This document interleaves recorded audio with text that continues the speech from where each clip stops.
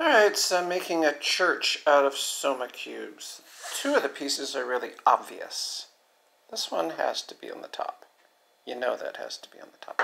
And you know this one's the only one that's going to be tall enough to hold that one. Right? Right. So then how's the rest of this constructed? Well, this is kind of a standard base for a lot of stuff. Creates this kind of a setup where this piece is going to go. Okay? Then you're left with these three pieces. So what do you do with them? The best you can. So the little one goes here. This one goes here. This one goes here.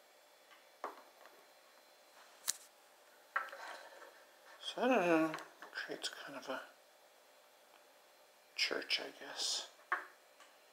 Sort of.